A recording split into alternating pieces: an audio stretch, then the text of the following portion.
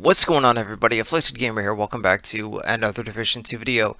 So, Title Update 6.1 and Situation Snowball are now live, along with the apparel event, and of course, if you log in before, I believe it's December the 19th, you get the Santa Claus hat that I'm wearing here in-game, returning from the Division 1 along with some apparel cache keys.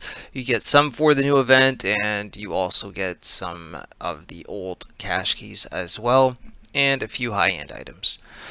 Now the main thing that I know a lot of people are going to log in for, if at all, will be for the Sleigher SMG, which I'm going to show you exactly how you can get it here in this video, along with a little bit of gameplay because it uh, didn't perform the way I was kind of hoping. I didn't expect a whole lot, but you'll see in a moment. So, the dev said basically just walk around the streets of Washington and this guy will come charging at you. He's got a massive backpack, as you can see, and a Santa Claus hat. So that's what I did for roughly half an hour, and out of this back alleyway here, he came rushing at me.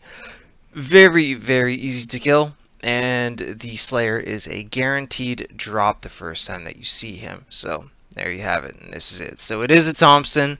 Like I mentioned in my last video there, uh, with Cassie Mendoza video. And Hidden Rock is the talent. So landing headshots will confuse enemies. And that can occur once every 20 seconds.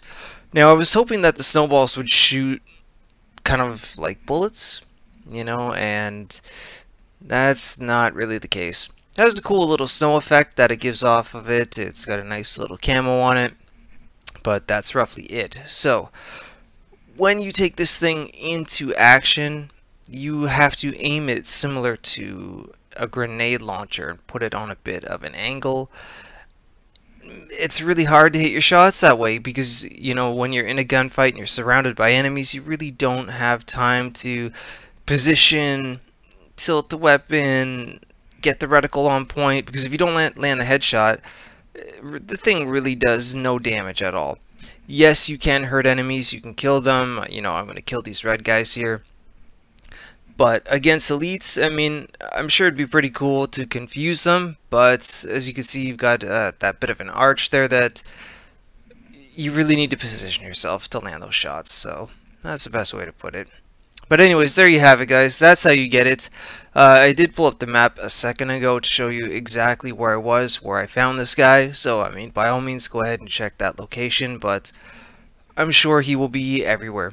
So let me know where you guys find him down in the comments section for other people so that they can go ahead and look for him if they don't want to go to the spot that I found him in.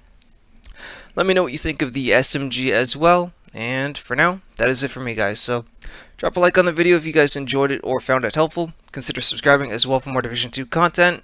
You can follow me over on Twitter at AfflictedGamer. Other than that, I'll see you guys very soon in the next video.